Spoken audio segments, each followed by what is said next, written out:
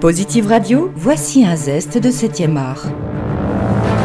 Bonjour à vous toutes et bonjour à vous tous. Merci d'être avec nous sur Positive Radio. Bonne nouvelle, le ciné Lumière à Romans-sur-Isère est de nouveau ouvert. En plus de la programmation journalière, en partenariat avec le CCAS de Romans, il vous propose une soirée ciné-débat avec la projection d'un film documentaire réalisé par Antoine Page, Toubib, 12 années dans la vie d'un étudiant en médecine. Soirée en présence d'internes en médecine de la Drôme. Un moment convivial ponctuera la soirée. Le mercredi 28 août, 20h, tarif unique 8 euros, au Ciné Lumière, 5 rue du Président Félix Faure, à roman ciné-lumière.fr. Positive Radio vous souhaite une bonne séance de cinéma.